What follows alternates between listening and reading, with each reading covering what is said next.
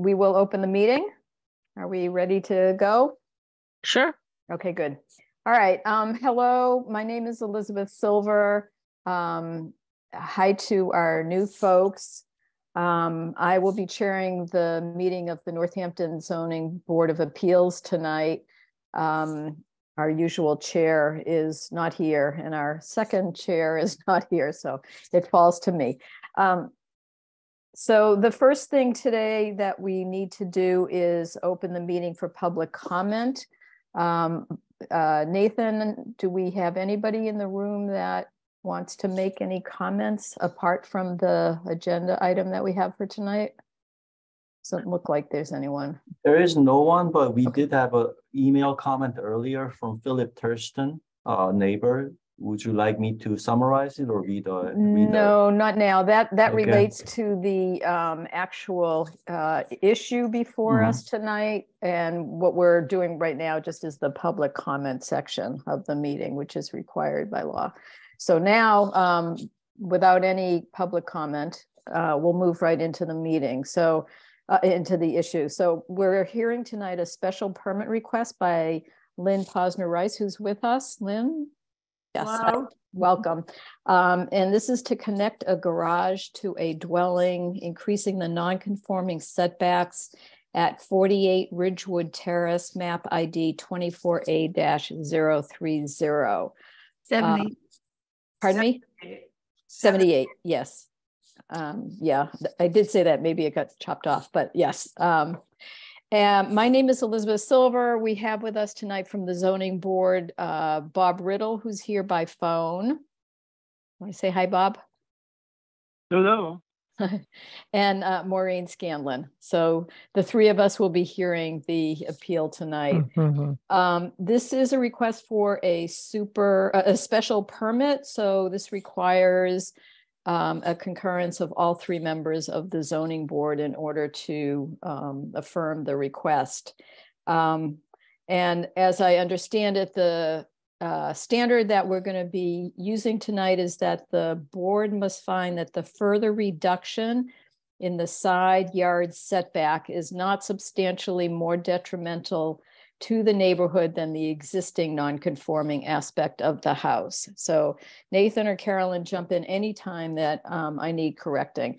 So um, this matter has been published uh, on March 9th and March 16th. So um, who will be speaking for the appellant? Um, I can do that. Why don't you go ahead and uh, proceed and let us know? Keep in mind, we do have the materials that you submitted and um, I'm sure that we've all reviewed them. So um, please give us the, the uh, summary of what you're looking to do and the need for the request for the special permit. So the, the house is on a corner lot. um, Ridgewood Terrace and Blackberry Lane, both of which would require the twenty-foot setback in um, this zoning district. Um, and the house on Blackberry Lane sits about eighteen feet from the street uh, or from its property line. And um, so that's already non-conforming. And we have a garage, detached garage that is only a foot from the back line, uh, but properly located from Blackberry Lane. And we, there's ten feet between the house and this garage. Um, and the owners almost always approach the house by car and um, there's no entrance to the house on that side. They have to go all the way around back to Ridgewood Terrace to get in, up a flight of stairs. So we are proposing an entrance and to get it, to make it useful as a kind of breezeway, we've attached it to the garage. We're not entering the garage from this uh, addition, but we need that space to, to get in and have the circulation. Um, and it's set back uh, from Blackberry Lane. It is more than 20 feet from Blackberry Lane itself, but the existing house, as I mentioned, is only 18 feet. Um, and also it's very low pitched. Um, and I think in that um, photographic overview that we presented, you can really see how minimally uh, visible it is from the street. And I think the email you got was from the neighbor who was directly across, who uh, says that it is no worse for him than than it was. And there's a bunch of garages actually across the street from this area. Um, so basically, that, that's our uh, petition. So in connecting up the garage to the house through the breezeway, how will that change the setbacks? Well, the, it changes it because now the house is attached to the garage. So that there's a, uh, I guess there's a bigger house with the non-conforming use and also now the garage, which is only one foot from the back property, um, is even less conforming than it was. We, we would need, uh, I think we would need at least 10 feet um, from the back of the garage to the property line. But our addition is 20 feet. If you, if the garage weren't there, what we are adding is 20 feet from the back property line. Um, but anyway, the whole, it makes the conformance worse because uh, the garage, the whole house now is less conforming because it's attached to the garage also. Right. So it brings the whole structure to one feet of the line of the property Yeah, line in the right. rear. Okay. But the Yeah. front doesn't change and the No. side doesn't change. No, Okay. no, And there's no, we, we, uh, there's no construction going on in the garage itself. This is just the connection up, right? correct, correct. Okay. There's no entrance from the house into the garage. And the, the garage is not being changed. Okay. Um, Maureen, Bob, do you have any questions?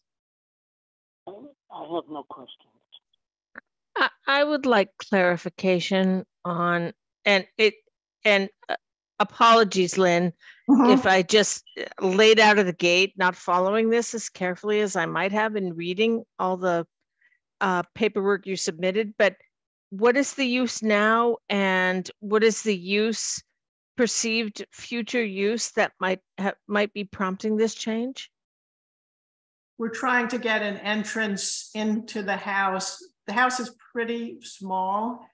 And we're trying to get an entrance into the house near the garage where the owners arrive at the house. Um, and also the grade is higher there so that it becomes a more accessible entrance with fewer steps to get in from that side. Um, so we wanted a sheltered entrance with some room to hang up your coat. Um, Um, that's what it is. So this has nothing to do with future use of more occupants or different occupancy. No, no. This is just an amenity for the owners to better Great, use the house. great. Great, thank you. Yep. So do the owners anticipate the hope that they might down the line? And this is not something you're asking for right now. Um, so we'll take this as like exactly as you've requested. But is there any intention down the line that you hope this might also be used for additional occupancy? uh, Another rental unit, uh, No, this is, all- unit? this thing is like four feet wide by ten feet long. Right, right. But I mean, the, what they're connecting it to, the garage. Oh, to the garage. Yeah. No, and we're not entering the garage, and the garage is not suitable for anything. I see what you mean, that, yeah, Right. right, no, right, right. definitely not. And you understand that would require additional permitting. Absolutely, Yeah. yes. Okay, okay. I don't have any other questions. All right. Is there any, is there anything else either you want to say or the owners would like to add? Yes, I just wanted to say that we are actually, um, we actually need a safer, more accessible way to get into the house because, uh, you know, we want an entrance near the, uh, near the garage or near the driveway, really. And, um, we're elderly, the other ways to get into the house are, you know, a little, they're, they're not as good. They're, they're a little sketchy, really. We'd like to just have a safe, convenient way to get into the house. That's all it is. Got it. So now you're pulling into the driveway and walking all the way around the house to get in? Is Mhm. that Mm-hmm. to, to the black, uh, Blackberry side or to the front? That's correct.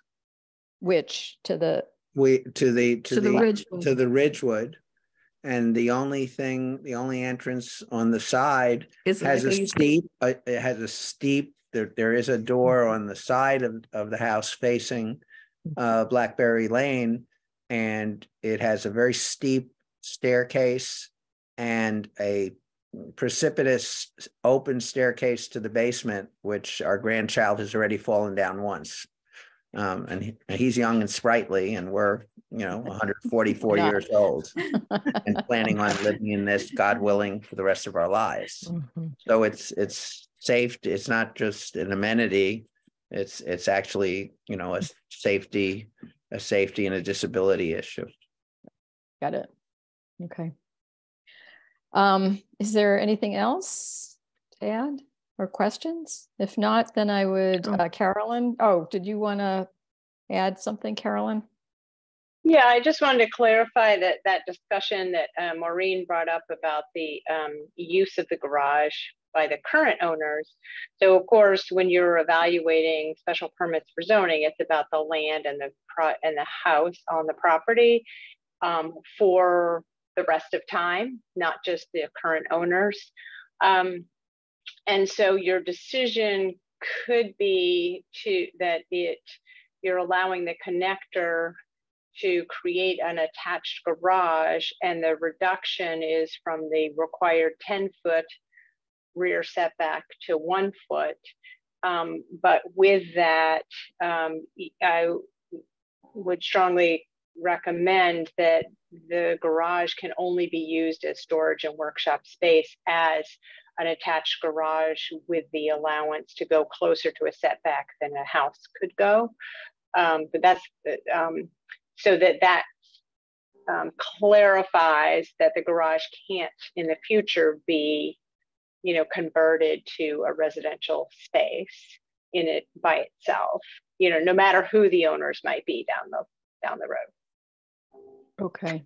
So may- might I ask Carolyn, um,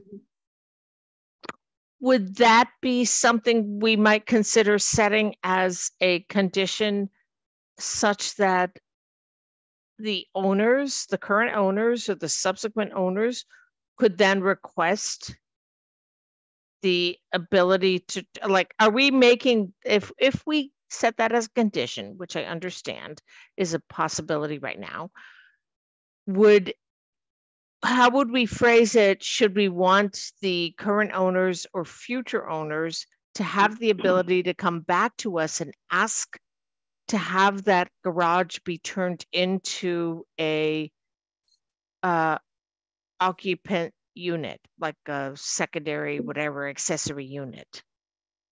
So permits can always be uh, amended or a request for an amendment can always be made. So this isn't something that's, um, you know, codified or, you know, recorded for the end of time. right. It's a special permit and it goes with the land. And so if someone down in the future wanted to modify that, they could come back to the zoning board and say, we'd like an amendment to this permit to address this condition. Okay, would- so they it's not have to come- draconian. They would have to come back and ask for a uh, variance, wouldn't they?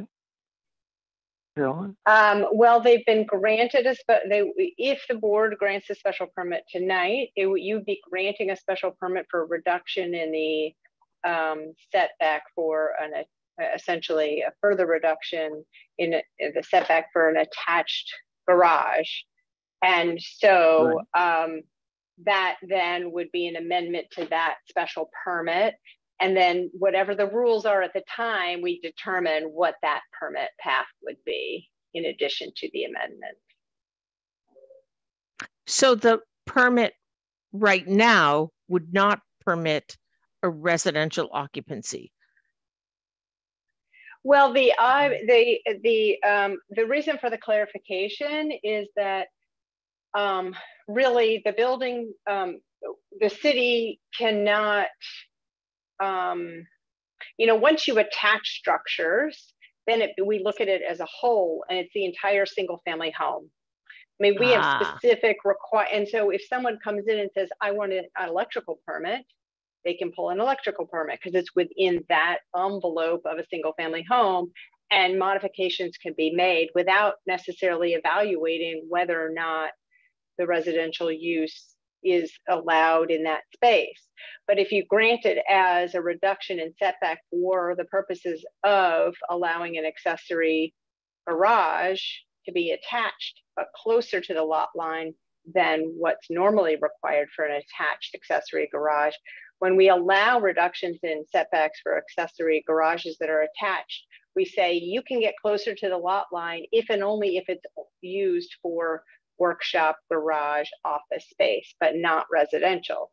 So in this way, you'd be clearly defining this space is being approved as a, um, you know, attached garage that can only be used as workshop, storage, office, etc.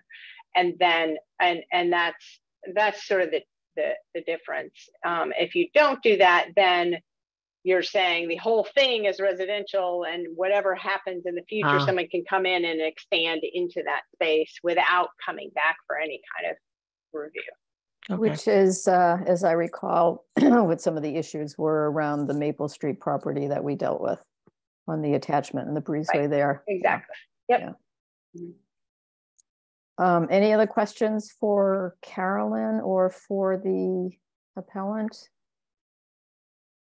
All right, if not, is there a motion to close the public hearing? I make a motion, we close the public hearing.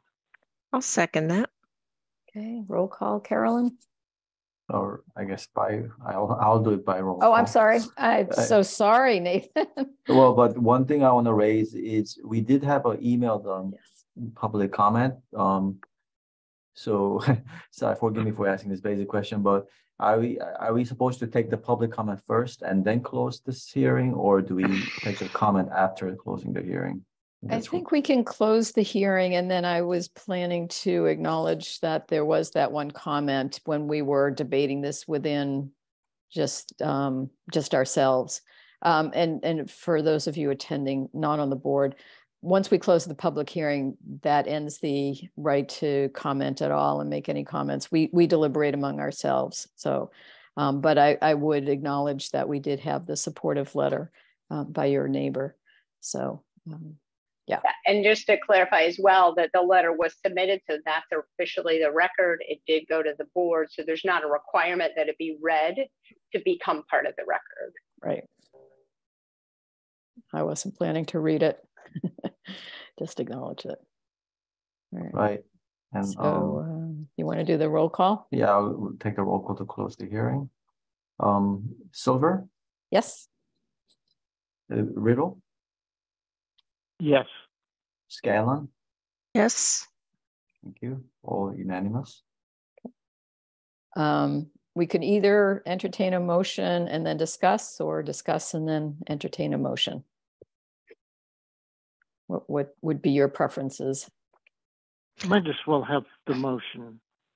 Okay. Um, I'll make a motion that we, uh, that we approve the special permit by Lynn Posner Rice to connect a garage to a dwelling, increasing non-conforming setbacks at seventy-eight Ridgewood Terrace, map ID two four A dash zero three zero.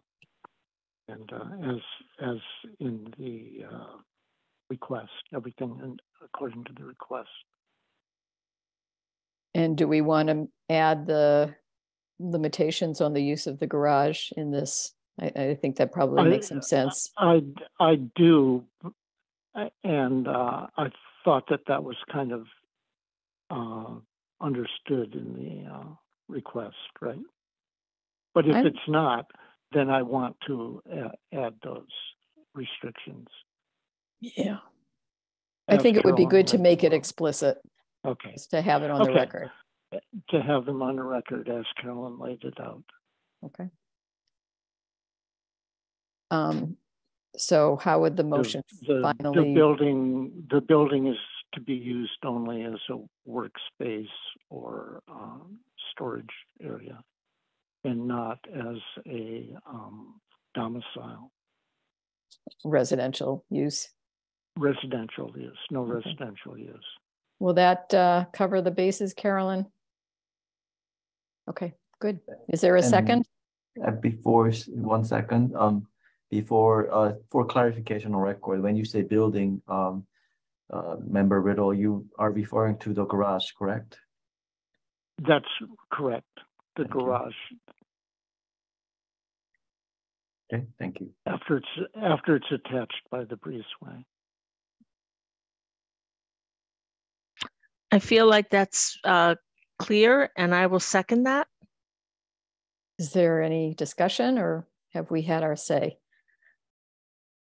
I have no discussion points. Bob? I have no discussion. I have no Okay. discussion. Okay, well, I'm, I'm clear. I think we're following past precedent um, as we did on Maple Street and that we are clear about this. And I think um, it meets the standard that it's um, not only not substantially more detrimental to the neighborhood, but I think it's um, actually enhancing it and uh, certainly enhancing your experience in living in the house. So um, I think it's a worthwhile project here. Yep. Um, all right, so uh, roll call vote. Nathan? Actually, before that, do we have a second on the uh, Riddle's motion? I seconded. Okay, thank you. All right, by roll call, uh, Silver, Yes?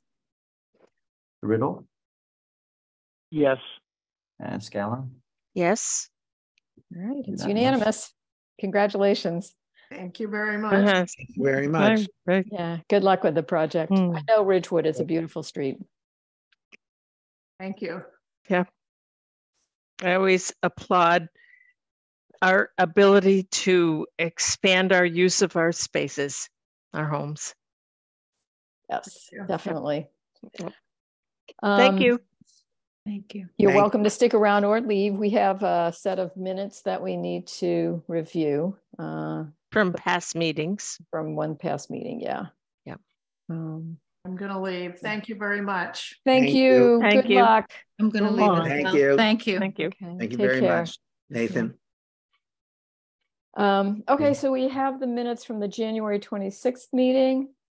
And I saw one one typo. I found a typo. This is my first time ever. Um, at the very, the second and last paragraph on the first page, it talks about two parking pots. I think we want two parking spots.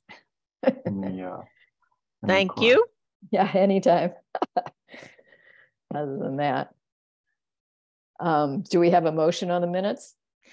I actually would like to have a discussion about the minutes. But I could also, uh, it, yeah, I could approve or make a motion to approve these minutes. Doesn't, I I'll don't think it second it. affects that. I'll Is second it. Second, okay. All right, so you wanted something to say about the minutes? Um, let's, let's just approve these minutes. So we're, we've approved the minutes? Approved and Well- seconded? Not yet. We, Yep. we've s- had a second, we haven't approved them, but if there's an issue with the minutes, then now is the time to raise it as opposed to after they've been approved. Um, uh, it's a discussion point that I think could happen before or after, but I'd like to raise it now. Um, since we could. Uh, I've heard a couple of times recently where like applicants uh, lawyers have questioned they couldn't go back and find the minutes they couldn't find the videos of the meetings and i look at these minutes and i see some points that i think are oversimplified and missed some of the what i guess i would call nuances or negotiations or conversations within the minutes that can't quite be captured. And I wonder if there might be a value in setting up a protocol where we include links to the video of the meeting in the minutes.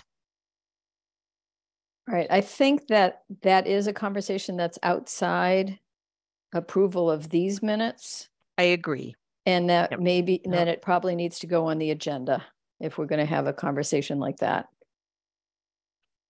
So the point that brought it up was a simplification of a conversation in the this set of minutes that did not to me adequately represent the conversation or the uh mm, negotiation that I um I could not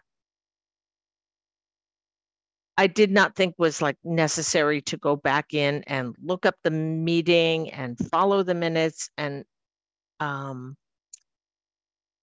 look at what did not feel like it fully represented the dialogue in the meeting. And I maybe it's a bigger issue and some one thing that something that does not belong in this conversation right now in terms of approving the minutes but i looked at the point in the minutes where i posed something and the attorney came back and it um oversimplified or even potentially missed the point of the discourse in the meeting. And if uh, when attorneys go back and look at our minutes and they try to figure out what happened, and this is all they have to go on, mm, mm, mm, and then they say they can't find our recordings, easily find our recordings of the meetings, I just feel like like we can't put everything in the minutes but I would like to point to the fact that we record all these meetings. Well, uh, there are legal requirements about what goes on into the minutes, and it doesn't require a transcript um, Right, by right. by any, you know, reading of what the law is, um, and um, and they do have to be recorded. And if anybody would call Carolyn, she would tell them exactly where to find them if they don't already know how to find them. Um, so I, I guess what I would suggest is that if you have a particular um, paragraph, sentences, whatever that are missing in this in these minutes that you would like to add, that you would propose that they be added, but that um, I my sense of the minutes is that they actually are very comprehensive and satisfy the legal requirements of what's included in minutes. Um, and, and, um, I mean, it, it's just impossible to, unless you're going to tran do a transcript to, you know, capture all of that. So I, I think rather than even having a conversation about what's in the minutes that get, that I, I can see sort of going off into really um, non-specific kinds of of um, suggestions that we concentrate on any particular piece of the minutes that you find is missing and you'd like to add as opposed to you know that larger conversation. That would that would be my take because i think that these minutes are more than adequate um, and more than a lot of other minutes i've seen. Um, but that that's just my take. Uh, uh, um, I don't know. Could, could I add something to that if, if that, if that would help? Yeah, please. Um, you. So um, you're an adjudicatory body and the import, so, and as Elizabeth noted, you're required to, to identify, you know, when the meeting took place, the, um, the topic, the advertising information, who, who made comments. Um, they are to be cursory because your, your discussion is not what counts. What counts is your decision. And so the most important thing that comes out of your meetings are is the decision and the rationale for, making that decision and making sure that it's meeting the code requirements and the findings that you need to make in order to make that decision. And so the recording of that decision is the important piece of what comes out of the meeting. So it's not like city council or school committee that they, you know, talk back and forth a lot about subject matter and then create a policy. Um, so it is different from that in that regard. The other thing is the video recordings are not required either. Those are not legal records of the meeting. It's helpful and instructive if someone wants to go through um, to see a meeting that they missed.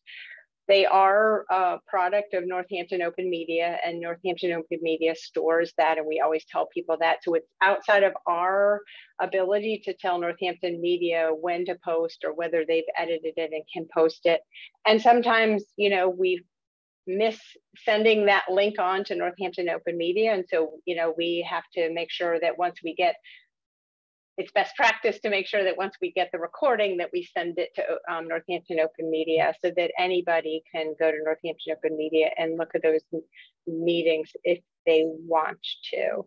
So, um, um, but then also obviously to Elizabeth's point, I will uh, say that if you feel um, as though something that you said or someone else said in the meeting isn't adequately captured in the minutes, that would be perfectly fine to suggest you know, um, an addendum or an edit of the minutes time for sure. Okay, so the recording of the meetings is not required. No. And we do this because because transparency. Yes. Okay. okay, thank you. Thank you. All right, should we uh, take a roll call on the uh, approval of the minutes? Nathan? Sorry, I, I mean, I, I was just thinking, uh, if, uh, if uh, Maureen is very concerned about a particular uh, nuance, I mean, I, I think this would be time to, or you can send me, you don't have to approve it. I know it's the unusual practice, but you don't have to approve it now. You can send the amendments and we can uh, review the amended uh, minutes again and approve it later. That's Uh, true. We could do that. correct me, Director Carolyn, if I'm wrong, but Okay. yeah, if you're really uncomfortable about uh, approving as it is, we can always amend it before approving. Maureen, what would you like to do? I um I could, based on that, I could move forward with approving the minutes. And if I go back and review the recording of the meeting and see that it captured it it recorded something that doesn't feel um, like it captured the um, back and forth, the dialogue in the meeting, I would request to go back and amend the minutes. It's not a huge point. It's not a, it's not a huge point, but there was something that was very simplified in the minutes that I thought was a uh, more involved issue and more involved dialogue that I'd like to go back and remind myself about. And I did not do that in advance of this. So I will apologize. So we also could Mhm. wait and uh, review and uh, approve the minutes at our next meeting.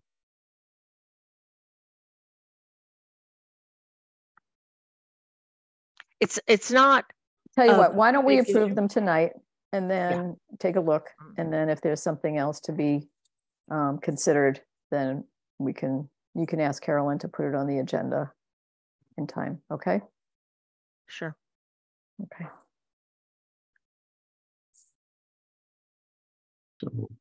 All right. Do we still have Bob? I'm still here. Thank you. All right, roll call? Nobody Yeah. has moved to Well, approve them yet. yeah, yeah, Yep. so yeah, let's you know, make them, you know, I please thought make a Bob motion. moved and, Oh, Yeah, we moved. and, yeah, It's and been you moved and seconded. Sorry. oh, yeah, Sorry, Yeah, thank you. Yeah. Yep. Okay, so. So Bob moved, Maureen seconded? I, I will Or- second. okay.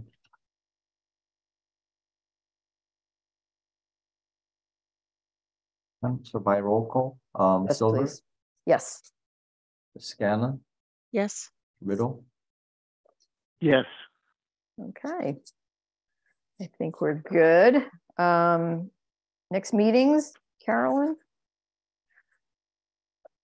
Um, Nathan, right there, I believe there is Oh, one in I'm April, sorry. the first, um, Oh, I'm so meeting. sorry, Nathan, it's just habit. well, it's, yeah, I'm Sorry. sorry. Yeah, there, there is, um, uh, um, April thirteenth hearing and, um, the details are provided, but in general, it's about a, a home business, uh, with, uh, non-resident employees.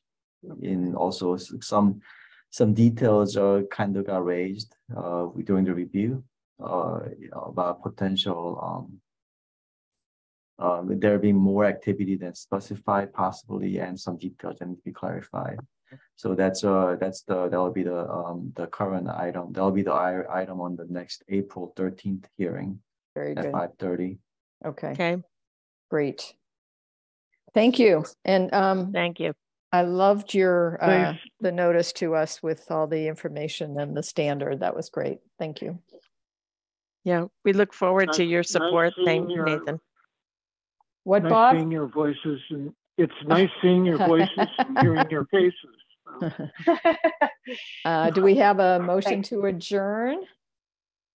I will move. I make a motion, we adjourn. Okay, I second. You're a one-man show tonight, Bob. All right, Okay. roll call, Yeah, by roll call, um, Silver, yes. Scanlon, Yes, Riddle, Uh, yes. Uh, Great, all right.